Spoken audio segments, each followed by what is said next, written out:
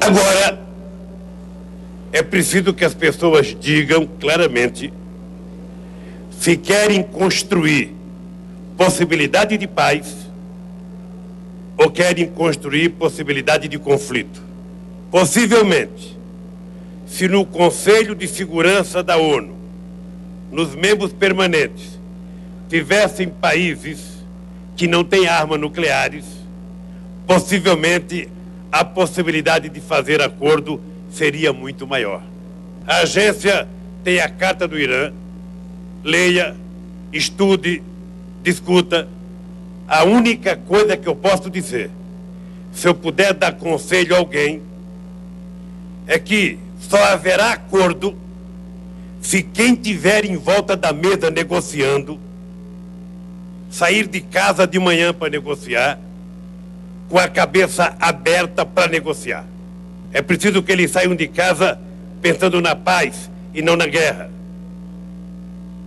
Que saiam de casa pensando no, diálogo e não no confronto.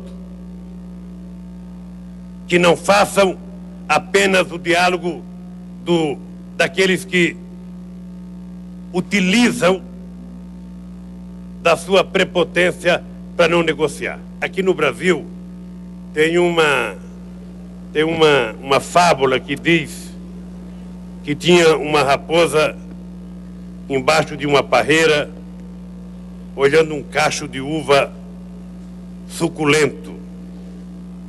E essa raposa tentou pegar a uva durante muito tempo e pulava, pulava e não conseguiu pegar a uva.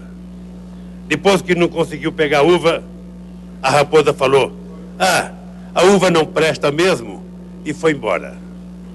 O que aconteceu conosco foi a mesma coisa. Nós fizemos o que eles estão tentando fazer há muitos anos. Alguns países há 30 anos. Nós conseguimos fazer. Porque as pessoas precisam aprender que a política do século XXI exige mais parceria, mais transparência e mais diálogo. Com truculência, a gente não resolve nem os problemas dentro da casa da gente em família. Eu tenho certeza que aqui no Brasil, quando eu saí para Teherã, alguns amigos meus diziam, presidente, é uma jogada muito difícil. E se não der certo, o senhor estará jogando fora o prestígio adquirido. Primeiro, que eu não faço política atrás de prestígio. Segundo, eu sou daqueles seres humanos que prefiro ser criticado porque fiz uma coisa do que ser criticado por omissão.